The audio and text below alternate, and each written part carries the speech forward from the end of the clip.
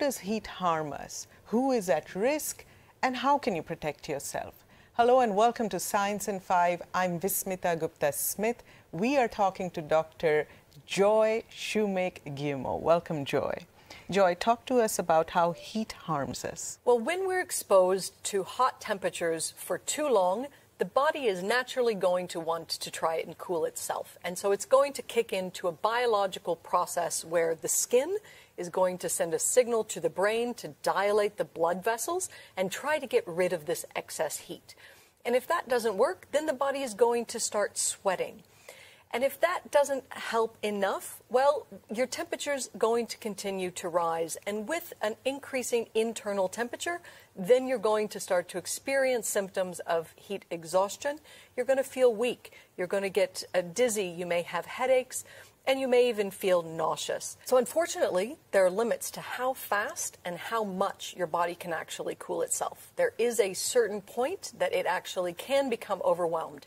And this is where the state of heat exhaustion can advance to become heat stroke, which is a medical condition that requires uh, immediate medical intervention to cool the body. So, Joy, we know that the older people and younger infants are especially vulnerable, but actually we are all at risk, right? So, talk to us about who all is at risk from extreme heat. Well, that's right older people are more vulnerable to heat illness, and that's because the aging body is less capable of getting rid of this excess heat. However, those that are also at risk are outdoor workers, pregnant women, uh, children, and, and infants, people with underlying medical conditions that affect the heart, the lungs, and the kidneys. Uh, as well as people who are isolated.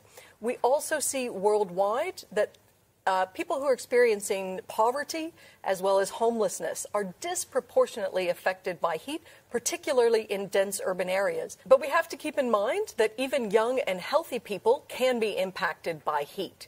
If you're exercising outdoors when it is too hot, uh, you can be affected.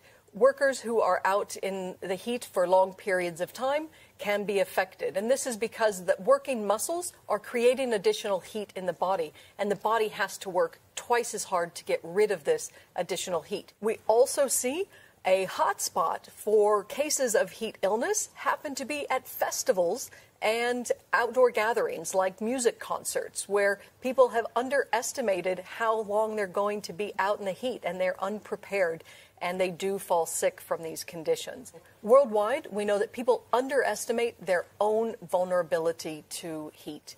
The reality is, we are all at risk of heat illness if we are exposed for too long to too hot conditions.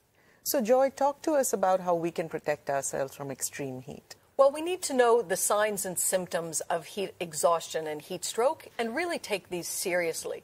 And it's important during the heat season, when it's hot outdoors, that everybody thinks about their personal heat plan for the day. How am I going to stay hydrated? When do I need to stop and take a rest or go find some shade? Um, do I need to wet my skin to keep it cool?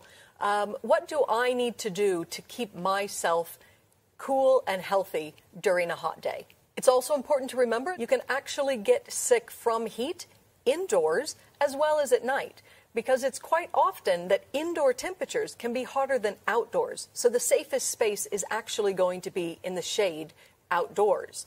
And for people who don't have cooling, the use of a fan is definitely an important tool to reduce indoor temperatures, except in really hot conditions, when it's over 40 degrees, 104 degrees Fahrenheit, then using a fan can actually make things worse and can accelerate heating in the body instead of cooling it down. It's also really important to check on others. Make a phone call to people who are vulnerable and make sure they have what they need. Make sure that children are hydrated and taking rest when they're playing outdoors.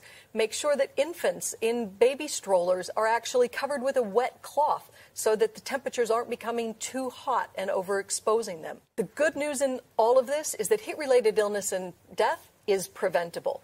If people are aware of the signs, they know that they're vulnerable, and they know the good behaviors and actions that they can take to keep themselves safe and healthy when it's hot outdoors. Thank you, Joy. There you have it how heat harms you and how you can protect yourself. Until next time, then, stay safe, stay healthy, and stick with science.